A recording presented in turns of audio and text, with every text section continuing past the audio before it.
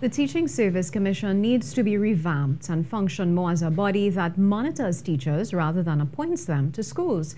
Retired Chairman of the Teaching Service Commission, Dr. Fazal Ibrahim Ali, made the recommendation at Wednesday's National Consultation on Education.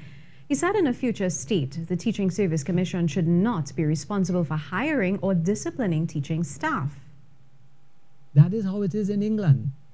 The principal is picking the team why can't the principal interview the people, see, oversee the discipline of the staff, the hiring, the firing, the everything, the promotions, everything, and the commission is monitoring because you have to understand the culture of the school.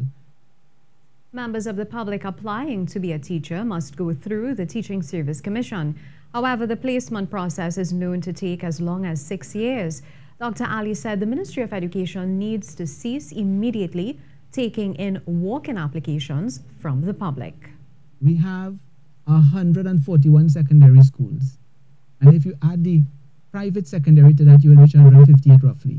And you have 550 primary schools. The output from the universities, there is no way the education system can absorb that. Established under the Education Act of 1966, the Teaching Service Commission appoints, promotes, transfers, disciplines, and enforces standards of conduct in the teaching service. Dr. Ali suggested that the government make much needed legislative amendments to the Education Act. It's too old, and simply doing small amendments like little patches and so on, that will not do. We need a proper Education Act from ABC to PhD.